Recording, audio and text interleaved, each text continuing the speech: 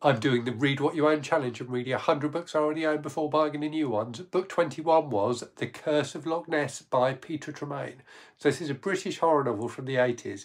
It starts out fairly calm with kind of a gothic vibe to it and ends up going somewhere I completely didn't expect and which I can't talk about on camera because it's just too gross. So if the sound of that appeals to you, you should check it out.